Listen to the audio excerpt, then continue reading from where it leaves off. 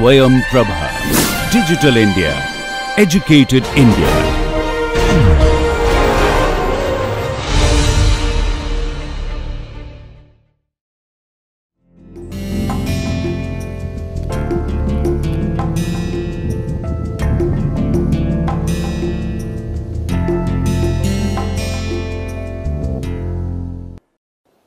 Namaste.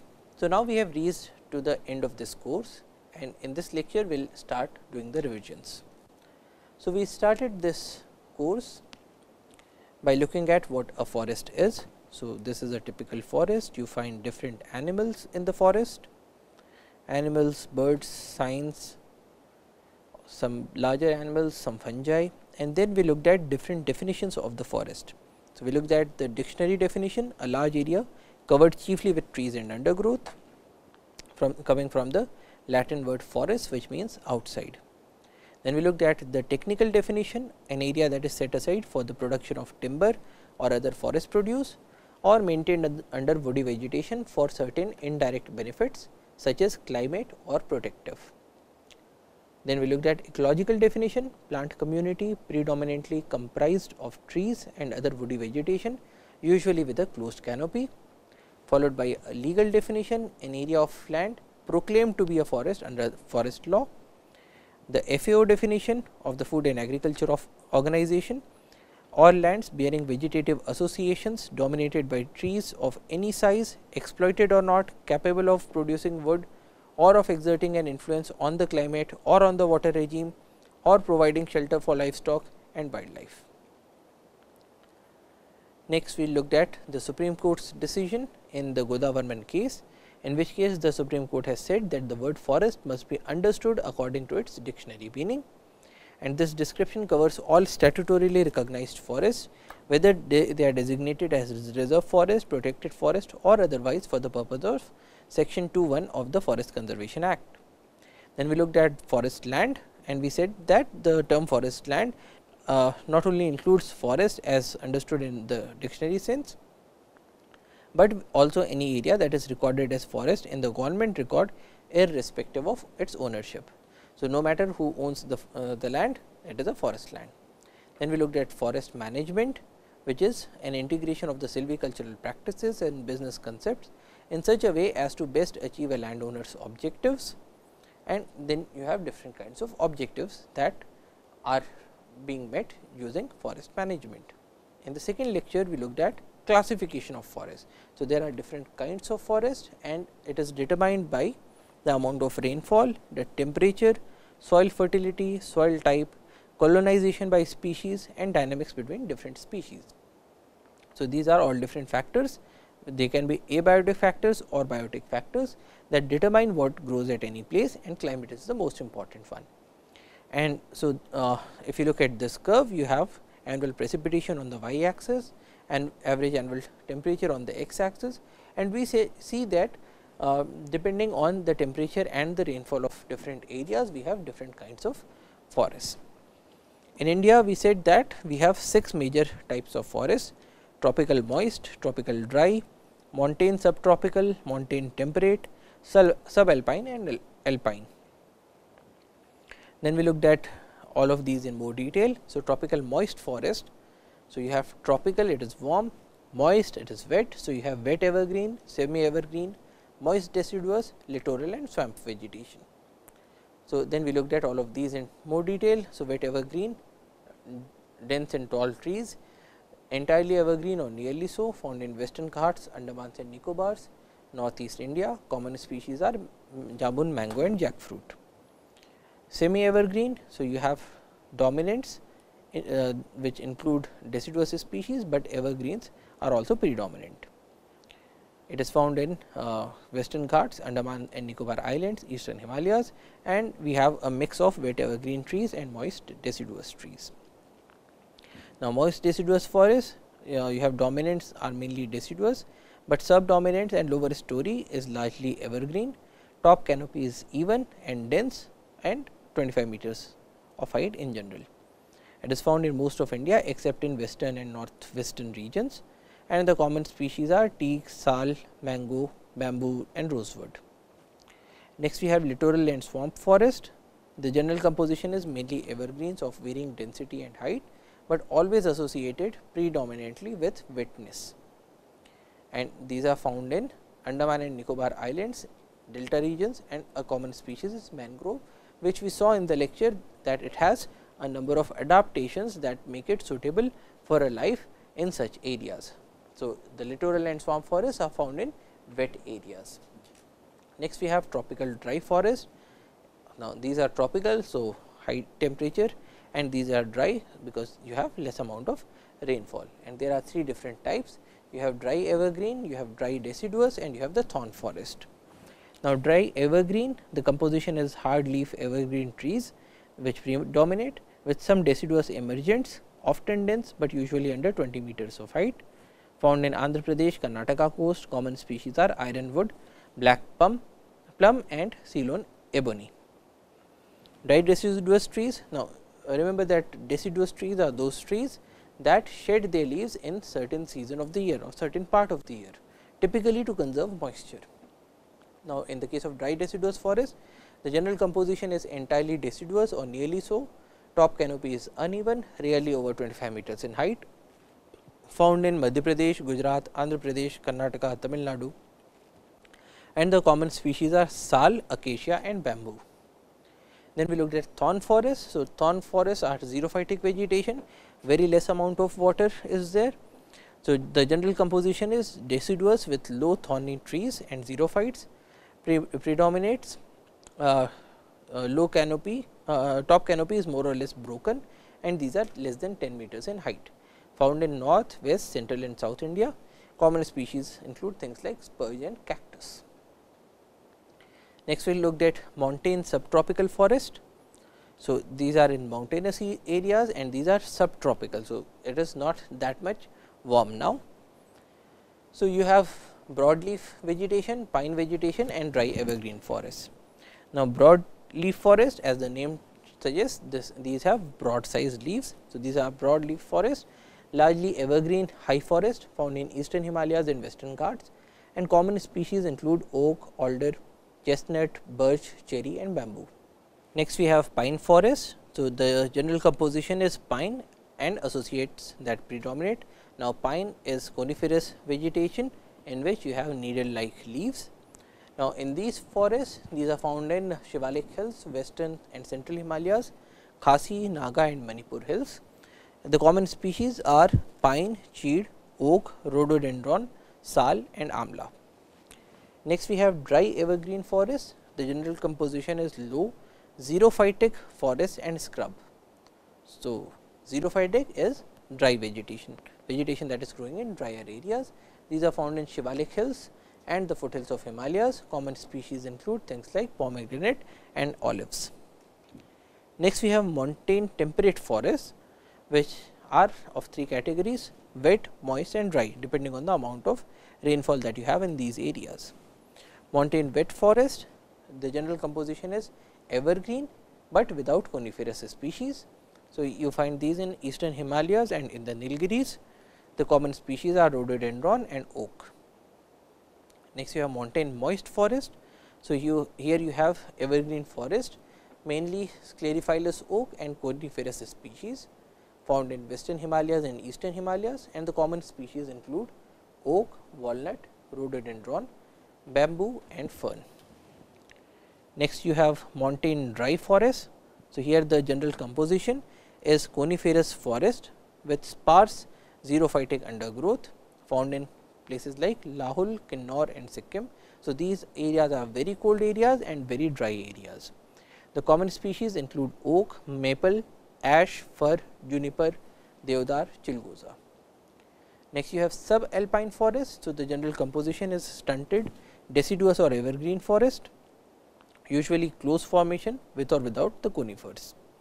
Found in Himalayas of Kashmir to Arunachal Pradesh, common species include red fir, birch, larch and rhododendron. And then we have the alpine forest. Now, alpine forests are typically on the tops of mountains, very cold areas and you have two different categories moist alpine and dry alpine. Now, alpine moist forest have low, but often dense scrub of evergreen species found in parts of Himalayas and in the Myanmar border. Common species include things like rhododendron, birch, moss and fern. Now, alpine dry forest, the general composition is xerophytic scrub in open formation mostly of deciduous nature. These are found in Himalayas from 3000 to 4900 meters and the common species are black juniper, honeysuckle and willow. So, basically what this lecture was telling us was that in different areas you have different kinds of vegetation which is adapted to different kinds of conditions in those areas and these conditions include both the biotic factors as well as the abiotic factors. Then we looked at major Indian habitats and their residents. So, we looked at alpine meadows. So, you have huge lush grasslands um, in Jammu and Kashmir and Uttarakhand you have alpine forests moist deciduous forest, dry deciduous forest. Now, as you can see in the case of the moist deciduous forest, the forest floor is looking very green in color, whereas in the dry deciduous forest you have uh, a forest floor that has that is full of dry leaves. Next, you have the scrub forest in Rajasthan. So, like this is in Ranthambore National Park, you have sand dunes in Jodhpur. So, here again you have less amount of, of water that is available, the trees are short in height, you have ample amount of uh, breaks in the canopy and you also have thorny vegetation, but then even these are very important for certain species such as this spiny tailed lizard. Then we looked at the Rann of Kutch, here also it is a very open sort of a, a vegetation and if you have areas where you have water then you will find different species. Then you have Brahmaputra floodplains, on the back you can see that you have a very dense vegetation in these areas, areas which where you have the flood plains uh, because of the yearly floods. So, uh, the plants are unable to grow in these areas. Uh, I, the, the large trees are unable to grow in these areas and so you get very good grasses that support a number of species such as the rhinoceros. Then we looked at Shola forests as are found in Coorg we looked at equatorial forest. Now, in the case of equatorial forest, you have ample amount of rainfall, ample amount of sunshine. So, it is a very dense vegetation, it is very difficult to go through this forest and the your trees are very large in size. So, for instance, you can see this uh, piece of log that is being dragged using an elephant and you can see how large it is. Then we looked at the mangrove forest, which uh, in which case the uh, the plants are very well adapted to a life with lots of water. Next we looked at the value of forest and we began with this chart which said that the total economic value depends on use value and the non use value. Now, use value is something in which case you are using the resource, non use value is where you are getting a value even though the resource is not being used. Now, in this case uh, the use value is comprised of the direct value, indirect value and option value and the non use value is comprised of existence value, altruistic value and bequest value. Now, use value is value arising of a use of resource, non use value is value arising even though the resource is not being used. Now, the use value comprises of direct value. So, direct value is something that we are using directly such as uh, consumptive values and the non consumptive values. Now, consumptive values are those in which if one person is using those resources, uh, the, they are not available in that much amount for use by another person. So, a good example is timber. So, there is a tree um, and if I extract uh, the timber out of that tree, you will not be able to extract timber from the same tree, because the timber is now gone. It, it can either be used by you or it can be used by me. So, we have the consumptive and productive values such as timber, firewood, medicines, grazing, non-timber forest produce and water. And then we have non-consumptive values such as recreation or ecotourism, education and research, human and wildlife habitat etc. So, a good example of a non-consumptive value is a tiger. So, if I see a tiger and I derive a, a, a value of say uh, 1000 rupees by seeing this tiger, so, if you see this tiger the value has not gone down because I have seen this tiger. So, essentially uh, whenever any person is using a non consumptive uh, uh, whenever any person is doing a non consumptive utilization of a resource then the resources amount and the quality remains the same for use by another person as well. So, the direct value is consumptive and non-consumptive values. Then the indirect values include watershed benefits such as agricultural productivity, soil conservation, groundwater recharge, regulation of stream flows, ecosystem services such as nitrogen fixation, waste assimilation, carbon sequestration and storage, microclimatic functions and evolutionary processes such as global life support and biodiversity. Now, the point in the case of, of indirect value is that we are using these values, they are important for us, but we are not using them directly. So, for instance, if uh, if there is nitrogen fixation that is happening somewhere. So, this nitrogen fixation that is being done biologically, we are not using it directly, it is there to support a different uh, a number of different life forms and so it is an indirect value. Next we looked at option value, it is an option for the future direct and indirect use of biodiversity of the forest. So, in this case what we are saying is that we are not using it, but we want to retain an option that this resource should be available for a future use, if we wanted you to use it in future. So, just because you want to use it in future, you are maintaining it today. So, that is an option value. We do not know when we are going to use it, we, are, we do not know if we are going to use it, but we still want to maintain this resource to have this option of using it in at a later stage if it is required. Next, we looked at existence value, the value deriving from knowledge that a resource continues to exist, such as the polar bear. So, even though you are not using a polar bear in any way, but still if the polar bear exists, this species has not gone extinct. So, we are feeling happy about it. So, this is the existence value. Then you have altruistic value, value derived from the knowledge of use of resources by others in the current generation. A good example would be the tigers of Sundarbans so, if I am living in Madhya Pradesh and I am not using those tigers, but I know that my fellow citizens, my fellow compatriots of the same planet are using that resource, it is providing them livelihood and so I am happy because they are able to, uh, to use this resource. So, this is altruistic value, it is different from a selfish value. And then third is the bequest value, the value of leaving use and non-use resources uh, use and non-use values for offsprings or future generations. So, in this case we are giving this these resources as a bequest to the future generations. So, we are just uh, managing them, we are conserving them, so that our children or our grandchildren or uh, the future generations will be able to use these values. So, we are giving them as a bequest as a gift. Now, with all of these different values, we also have several methods of valuation. So, there are three accepted approaches for valuation. The first one is the market prices method or the revealed willingness to pay.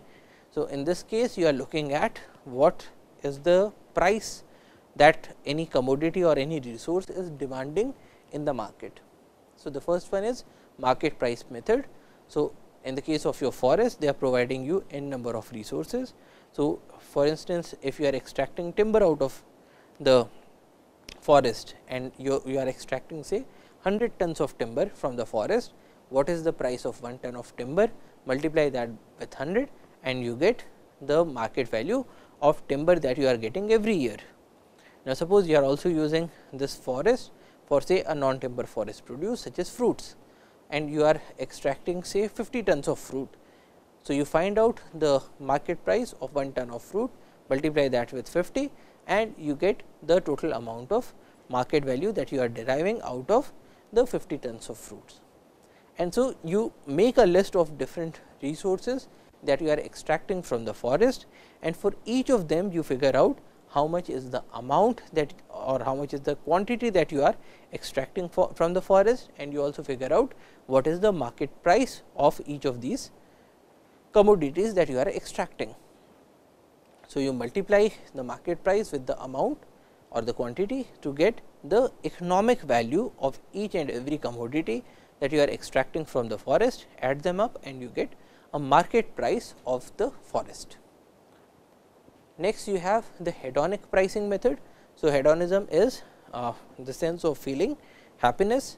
So, if you have a forest, uh, so the lands that are near to that forest will be having less amount of pollution or probably people will be able to see the wild animals. So, in that case there is a possibility that certain prices of goods will go up. So, a good example was that you have two buildings, one is near to a road which is having a, a large amount of noise, a large amount of smoke and dust.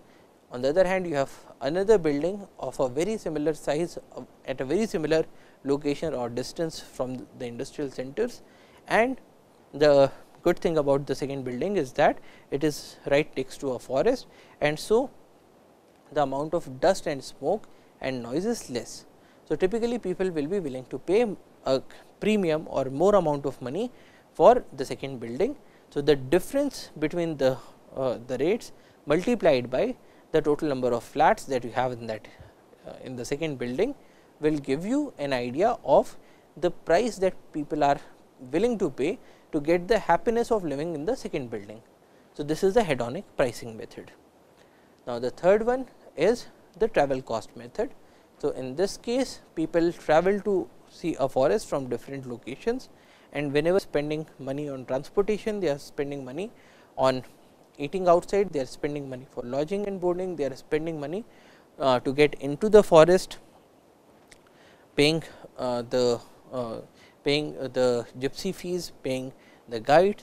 And so if you add up the different amounts that people are willing or, or, uh, or that people are actually paying to come and see your forest. So, in that case you can get a value of the forest. The second method is a circumstantial evidence or the imputed willingness to pay such as a replacement or substitute cost. So, in this case we were saying that you have a forest that is right next to uh, the oceans and uh, this forest is protecting the lands from tsunamis. Now, if you uh, if you let go of these forests, uh, if you uh, cut these forests, but still you want to have protection from the tsunamis. So, in that case you will have to build up a concrete wall. So, that would be a replacement or a substitute to the forest. Now, in the case of a replacement or a substitute, what is the amount that you will have to shell out to build this wall and to maintain it. So, that will give you an idea of the value of the forest. The other method is the damage cost avoided method, in which case you say that the, the value of your forest is equal to the amount of the of damage that it is able to avoid just by its presence. So, for instance, if you do not have this forest and if a tsunami comes, there will be a huge loss of life and property, which is the damage that is being avoided by having the forest there. So, that is the value of the forest. And the third accepted method is surveys or expressed willingness to pay such as the contingent valuation method. So, in this case you ask people what is the amount of money they are ready to pay to have a resource. So, if you ask people that suppose the government wants to cut a forest, remove a forest, but if you want to keep this forest, then the government is going to uh, to add an extra tax. So, what is the amount of tax that you are willing to pay? So, this is an express willingness because neither the government is going to cut the forest nor is the government asking for any tax. But then you give this hypothetical situation in the form of a survey to get an idea or an estimate of how much are people willing to or expressing to pay for the forest and that will give you an idea of the valuation of the forest. Now, in the second module we looked at the basics of silviculture and we started with what is silviculture. So, silva refers to wood, cult cultura is cultivation. So, we defined silviculture as the art and science of cultivating forest crops. Then we looked at its relationship with silvics. So, silvics is the study of life history or general features of forest crops with respect to environmental factors as a basis for the practice of silviculture. So, we said that silviculture is applied silvics. Silvics is the theoretical aspect and silviculture is the practical aspect. Then we described the components of a forest. So, a forest comprises of abiotic and biotic components. Abiotic components are the non-living components such as soil, water, air, sunshine and so on and biotic components are trees, shrubs, vines, grasses, insects, birds, reptiles, mammals and so on the living components. Then we saw uh, that a forest is comprised of several layers. You have the forest floor which has decomposing leaves, animal remains, dead parts of trees etc. It supports ferns, grasses and seedlings. Then you have the understory comprised of bushes, shrubs and young trees. that are adapted to living in the shade. Then you have the canopy which is the uppermost branches of the trees in a forest that forms a more or less continuous layer of foliage followed by the emergent layer on the very top which is a few scattered trees that tower over the canopy. So, here we are seeing that you have a canopy, you have the emergent layer, you have the understory and you have the forest floor. Then we looked at why do we do silviculture at all. So, silviculture is done to achieve certain desired outcomes and you can have different outcomes, you can have different objectives such as timber uh, such as quality timber production, production of species of economic value, increasing the production or volume of timber per unit area per unit time, reduction of rotation age or the average age at which a tree is considered mature for felling, raising of new forest in blank areas, creation of wildlife habitat, aesthetics, introduction of foreign species also known as exotics or protection and maintenance of site for intangible returns. So, you are doing the cultivation of forest crops to achieve one or more of these objectives. So, this is why we are doing silviculture. Then we looked at a short history of silviculture and we began by looking at the impact of human beings on the environment or the forest. And here we came up with this equation that I is equal to P into A into T, where I is the impact that the humans are making on the environment or on the forest, P is the population pressure, A is the affluence level or the per capita uh, need for resources and T is the amount of technology or the ability to extract the resources. So, suppose you have a society that has a small population and is uh, and has less use for resources and does not have the technology to extract the resources. So, in such a, a situation your resources will uh, will remain as such and there will be hardly any impact on the resources. On the other hand, if you have large number of people and all of those people require large amount of resources and the society also has the technology to extract those resources. In that case, you will find that the amount of impact of the human beings on the environment or on the forest will be very large. So, we saw that development of silviculture occurred in several stages. We began by the we, we began with the aboriginal society, the early society with small population, affluence and technology there was little impact on forest, forests were in plenty and so there was little need to conserve the forest. But even then in certain societies certain food uh, fruit trees, fru food trees or fodder trees were considered religious trees and they were conserved. Now, in the second stage we started to modernize, the population started to grow, there was increase in affluence and technology. So, people started feeling a need for more amount of resources and they also developed the ability to extract those resources. Now, with the modernization what happened was that the, the impact of uh, uh, the society on the uh, resources increased and the forest was uh, uh, and the forest started getting scarcer every day. So, there was an increasing need to conserve the resources, but then uh, because you have areas that were left. So, one option was that you expand your empires you in place of cutting trees in your local areas only you started to move out and you started to increase the size of your empire. So, that you get access to resources in other places as well. Now, good examples of this stage include the expanding Roman Empire and the expanding British Empire.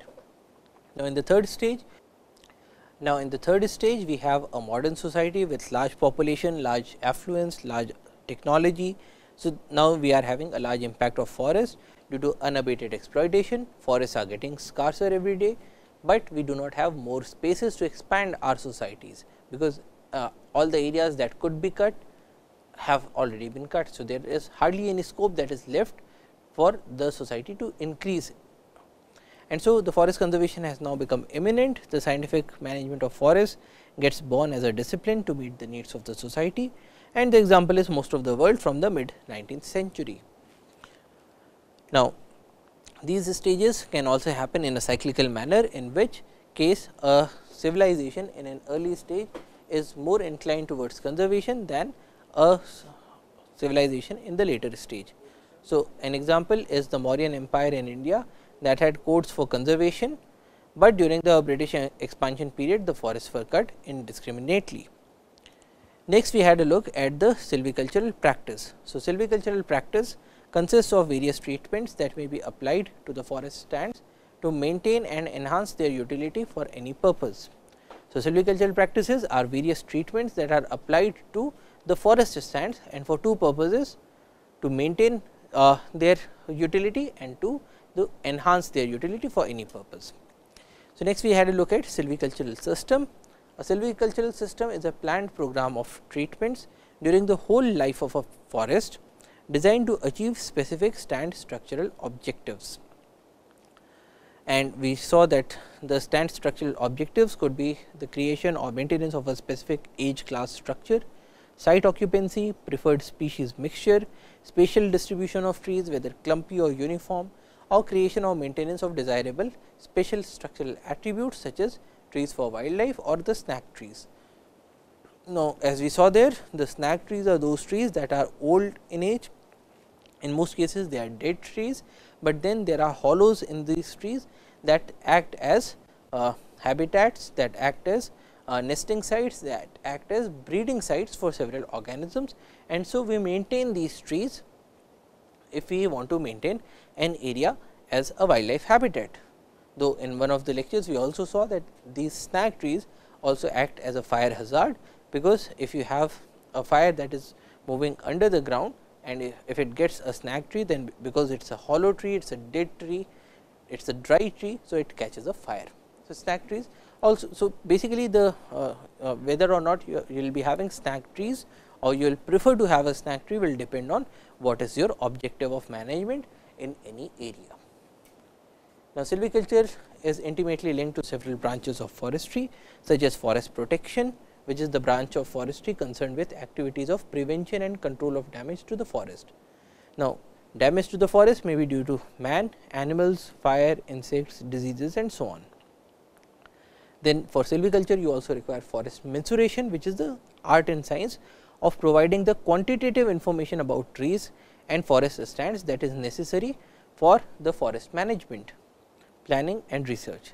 Now, this information may be about dimensions example diameter, height, volume of trees or a stand, form, age, increment and so on. So, if you want to do silviculture you have you will have to look at the protection of forest, you will have to look at the measurement of these forests. So, that you have data to manage these forests. Then you also uh, need to have an idea of forest utilization which is the harvesting, disposal and use of the forest produce.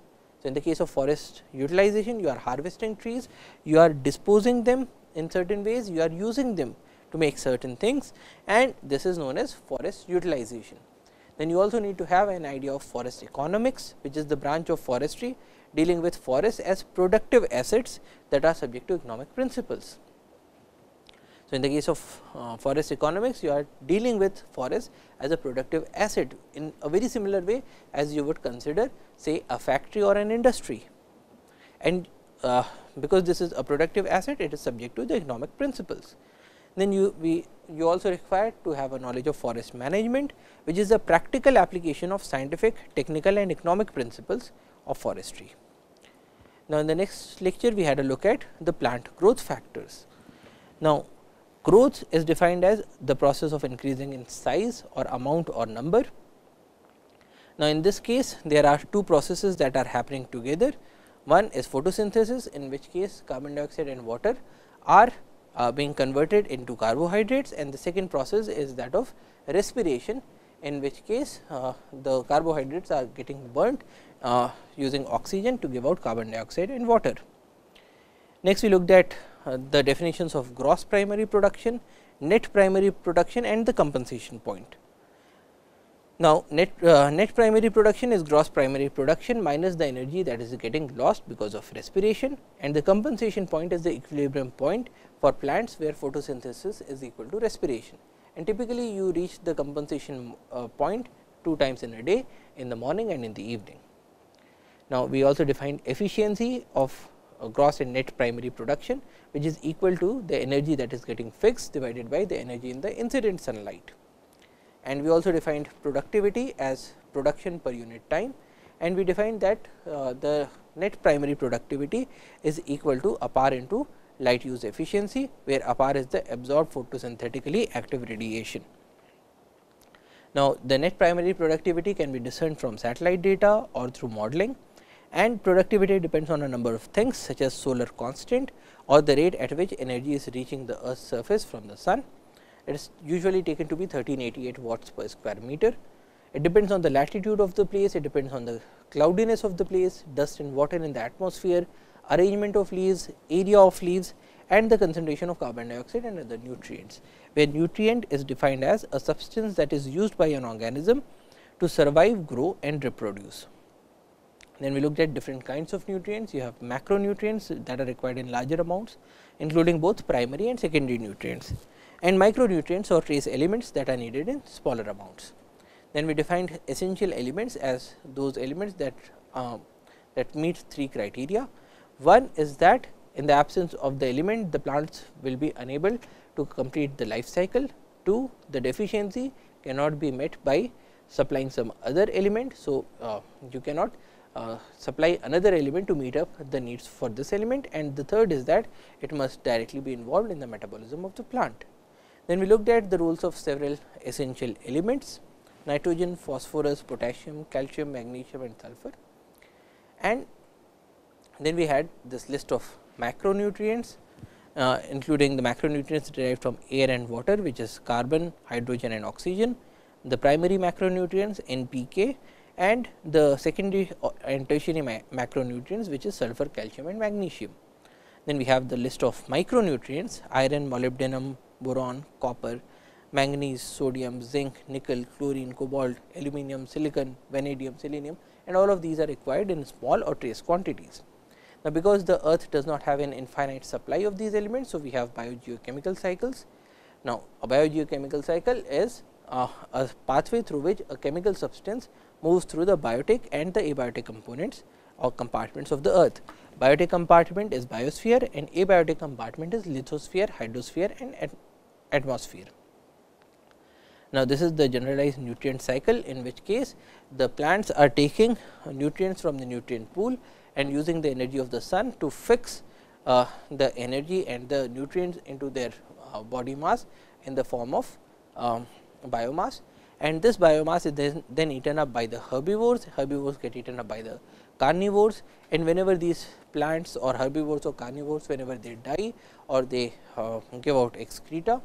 So, in that case uh, all of these are decomposed by the decomposers and they release the nutrients back into the nutrient pool.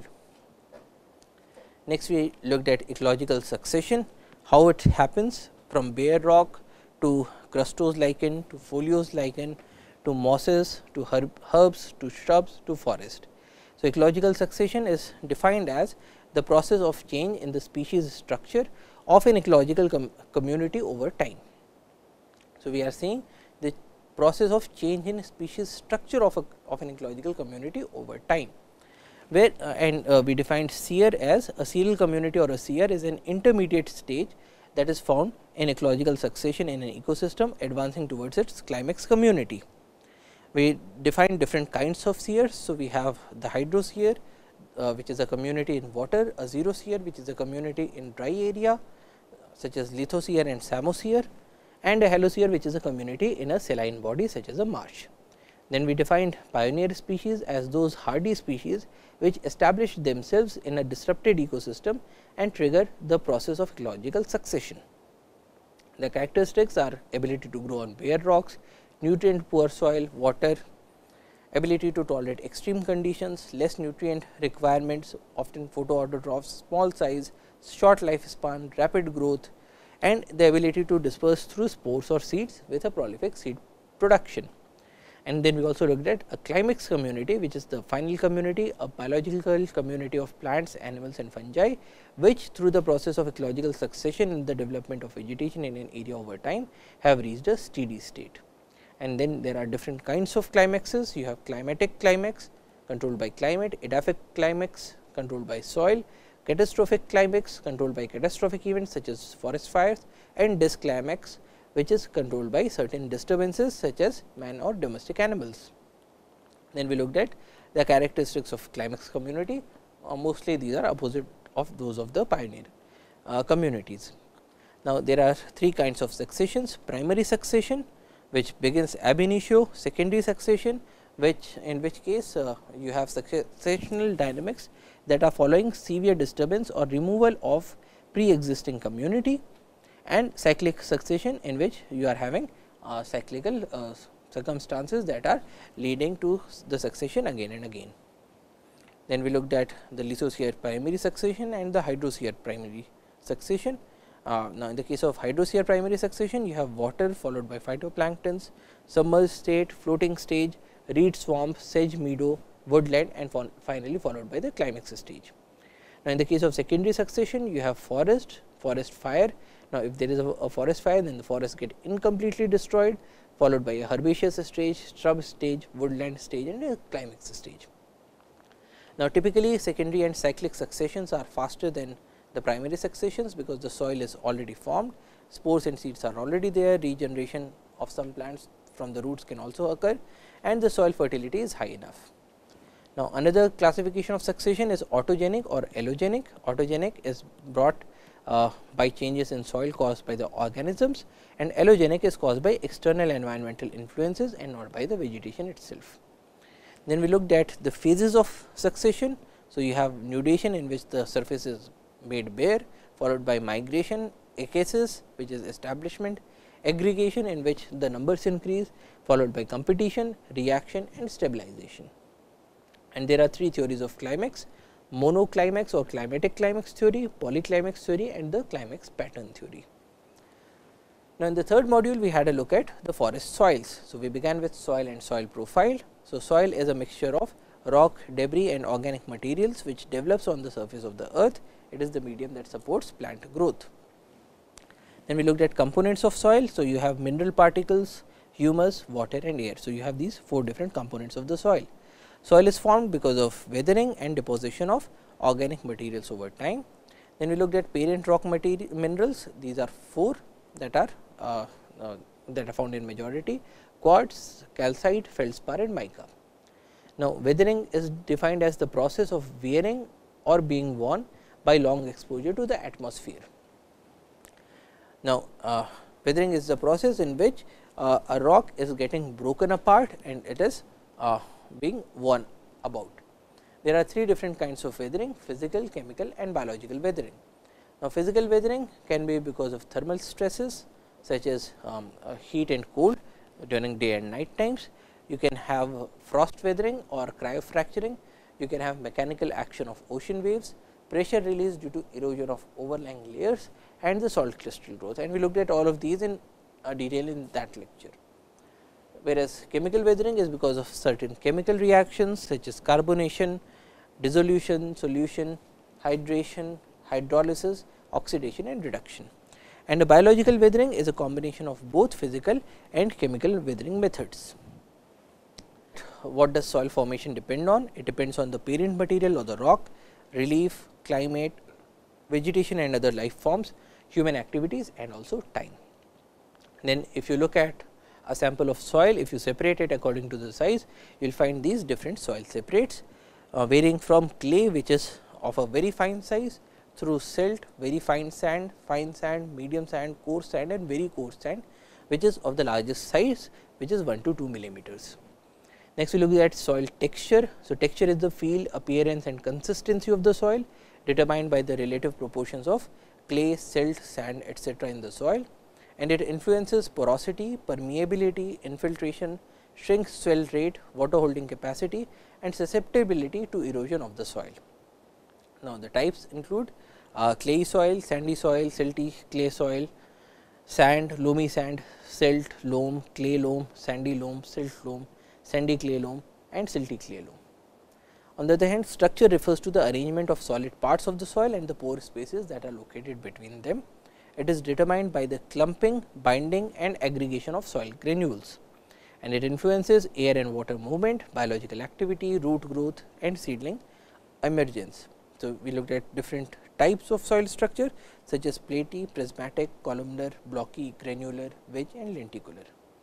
And then we saw that the properties of the soil depends a lot on the constituents of the soil. So, basically the amount of sand, silt and clay that you have in the soil will determine various properties such as water holding capacity, aeration, drainage, soil organic matter level, decomposition, susceptibility to erosion, whether wind erosion or water erosion, shrink swell potential, sealing potential, suitability for tillage, pollutant leaching, ability to store plant nutrients and the ability to resist changes in the pH.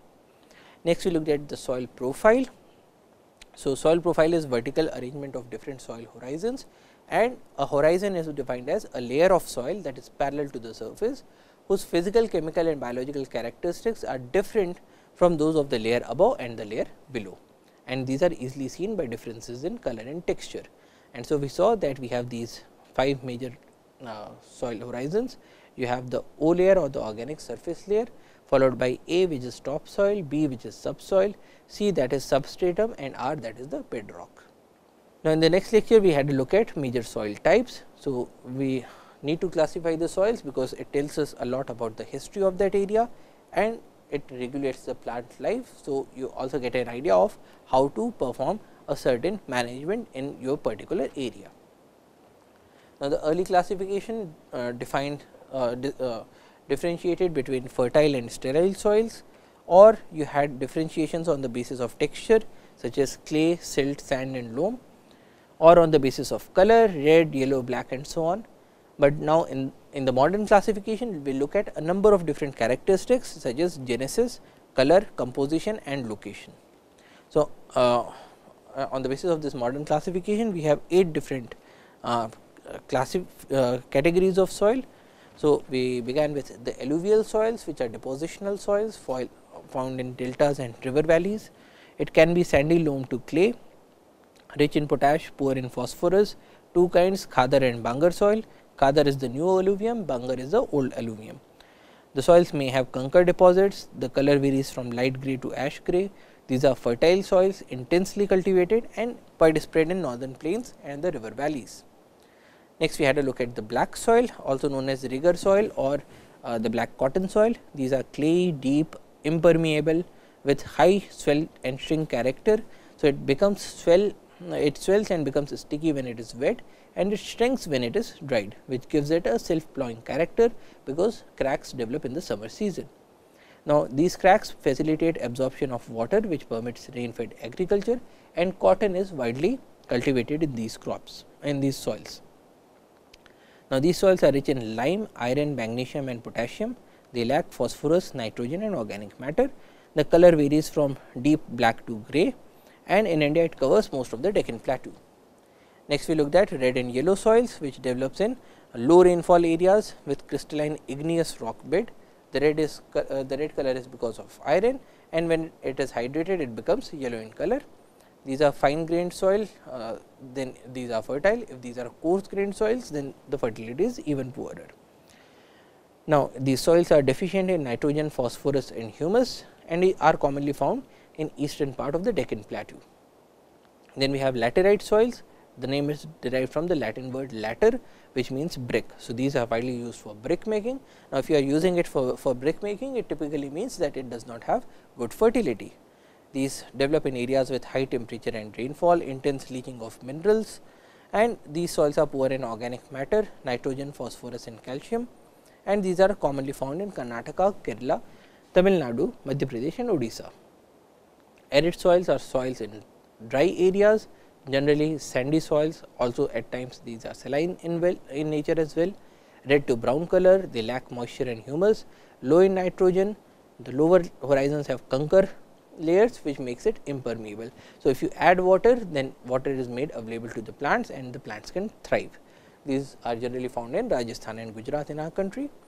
Then saline soils are soils that are rich in salt content now, because they are high, uh, there is a high so, uh, salt content. So, these soils become infertile. They are generally rich in sodium, potassium and magnesium often a result of dry climate and poor drainage. There could also be uh, a, a, result of uh, seawater intrusion, deposition of salt particles through wind or excessive use of fertilizers. Then we looked at peaty soils. Now, peaty soils are soils that are very rich in organic carbon. These are found in areas of high rainfall, high humidity, lots of vegetation, you have dead organic matter that is accumulating giving it a black color. Organic matter is as high as 50 percent, it may be alkaline in pH found in Bihar, West Bengal, Odisha and Tamil Nadu. And then forest soils typically those soils that are supporting the forest areas. Now, if these soils have still been left for forest then it means that they are not very highly fertile. The structure and texture varies according to the local environment. In upper reaches it may be coarse grained, in the valley sides it may be loamy and silty. Then we looked at the USDA classification of the US Department of Agriculture and we have 12 soil orders Alfisol, Andisol, Aridisol, Entisol, Gelisol, Histosol, Inceptisol, Mollisol, Oxisol, Spodosol, Ultisol and Vertisols. And in the next lecture we had a look at the nutrient cycles as we have seen biogeochemical cycle, the generalized nutrient cycle. So, in this case we have the nitrogen cycle. Now, in the case of nitrogen cycle you have uh, nitrogen fixation that is happening by either biological fixation or lightning or industrial fixation. Now, biological nitrogen fixation is conversion of atmospheric nitrogen into ammonia and it is done by rhizobium, azotobacter, nostoc and anabaena. So, these are the, the common species that are doing biological nitrogen fixation.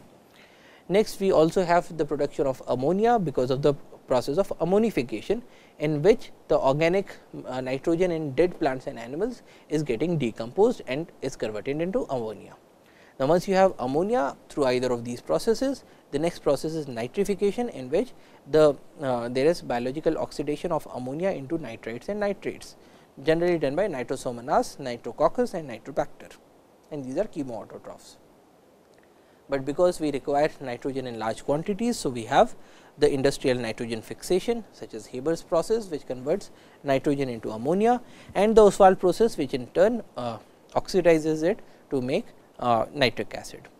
Then we looked at carbon cycle. So, uh, carbon is there in a number of pools and all of these are interacting with each other. The carbon in atmosphere uh, gets into carbon in ocean water, comes back, goes into carbon in rocks, comes back, goes into the biosphere through photosynthesis and then through respiration and decomposition it comes back or it gets into the the uh, into the fossil fuels through the uh, biosphere and then when these fossil fuels are burnt then you have the carbon dioxide that is released back into the atmosphere. Next we have the water cycle. So, water cycle you have condens uh, you have evaporation of water, transpiration of water that is bringing water from the liquid stage into the gaseous stage. Then there is condensation which, leads to the formation of clouds and the rains and when you have the rains then this, water then flows back into the pool. You also have the phosphorus cycle in which case there is a, a, a continuous movement of phosphates uh, between the rocks uh, between the rock phosphates and the soil phosphates and once your phosphate has reached into the soil then it can be taken up by plants from plants it goes to animals and to the decomposers then comes back and if there is a runoff then it can also reach into the uh, the new rocks that are getting formed. Next you have the sulfur cycle. So, in the case of sulfur as well uh, the sulfur is moving between uh, the lithosphere, the hydrosphere, the atmosphere and the biosphere. Now, in the next module we looked at forest mensuration, we began with the tree form. So, the shape of a tree is very different. So, uh, if we look at a, a, tree and if we uh, draw a height versus diameter curve, we will find that the, the top portion is conical, the middle portion is frustum of a paraboloid and the bottom portion is frustum of a neiloid. And we define these by these equations y square is equal to k x square for the upper portion, y square is equal to k x for the middle portion and y square is equal to k x cube for the bottom portion. Now, tree form is uh, it means the shape of the solid. So, form is the shape of the solid or the diameter height curve of which is determined by the power of x in the equation y, is, y square is equal to k into x to the power n. Then we define taper, taper is the rate of narrowing in the diameter generally expressed as centimeter per meter of the stem length. So, you can have trees with small taper in which case they look very much like cylinders or you can have trees with large taper and there is a difference between taper and form. So, taper is telling you the rate at which the diameter is decreasing, but the form is telling you the general shape of the tree. And there are three theories of tree form. You have the nutritional theory or the water conducting theory, in which case we say that the form is related to the need of a tree to transport water and nutrients.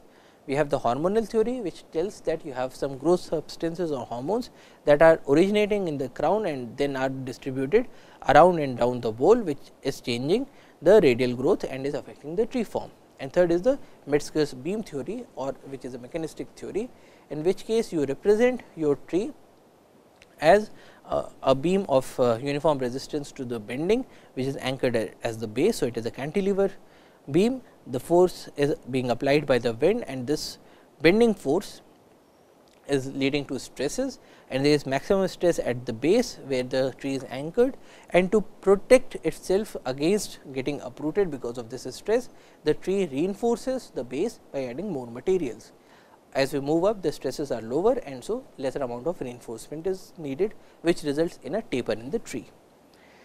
Then we looked at uh, the computation of the bending stress. So, we have this uh, derivation and the Metzger's theory says that you have a relation of d cube is proportional to L which is the equation of a cubic paraboloid. Now, as we saw before the, uh, the form of all the trees is not a cubic paraboloid, but Metzger did confirm his theory for a few coniferous species. Now, the usage is that if you have trees that are growing in a dense forest with less pressure, you have uh, longer and cylindrical boles, whereas if you have trees that are growing in isolation in windy locations, then you will have shorter and tapered bole. And there are several factors that affect the stem profile of individual trees, the social position within the stand, the site conditions, the silvicultural treatments, the genetic parameters and then we define the form factor so, form factor is a single figure which gives you an indication of the tree shape. So, this uh, so the form factor is the volume of the tree divided by volume of a cylinder and depending on where you are measuring the dimension of the cylinder you can have the absolute form factor where the reference is the base of the tree, false form factor where the reference is the breast height, true form factor where the reference is 10 percent of the height. Then we also defined form quotient which is a ratio of two different diameters so, you have the false form quotient which is uh, d at 0.5 height divided by the dBH. You also have the true form quotient which is the diameter at 0.5 height divided by 0. Point, uh, uh, divided by diameter at 0.1 height. Then we looked at a problem looked at how to compute true and false form quotients and the uh, form factors. Next we looked at uh, measurement of tree attributes in terms of the diameter. So, diameter is measured at the breast height, breast height is different in different countries and the diameter can be measured as diameter over bark or diameter under bark. Now, we looked at different formal rules uh, whether if the tree is standing vertical on a flat ground or on a slopy ground, if it has some irregularities and so on. So, if you have a tree that has uh, a forking that is below the breast level, in that case you consider it to be two trees such as uh, uh, and if it is uh, occurring above the breast height, then you consider it to be one tree. So, this is one tree and this is two trees. Now, we saw that uh, diameter can be measured using calipers. We looked at how a caliper is used and we looked at the pros and cons of the caliper and tapes. Now, a tape always overestimates the cross sectional area. Now, we also looked at measurement of the tree height. So, in the case of tree height we said that total height is equal to bole height plus the crown length. You can have a direct me uh, measurement in which you are measuring the height directly by using instruments or by climbing on, on the tree or you can make use of indirect measurements such as mm, uh, the method of similar triangle and the method of trigonometry. In the case of similar triangle, we looked at the shadow and stick method and also the Christen's hypsometer. And in the case of trigonometry, we make use of, uh, of these relations, we make use of uh, these values of sine, cos and tan theta for different angles and we can make use of this instrument called Blume-Leiss to directly get an idea of the height of the tree. Then we define the basal area of the tree as the area occupied by the cross section of the tree trunk typically at the breast height. So, area is pi by 4 d square and in the case of a stand basal area you sum up the basal areas of all the trees in the stand and it is typically expressed in terms of per unit area of land. Now, stand basal area is a good indicator of crowding and we saw how to compute it by direct computation and also by the spacing factor method.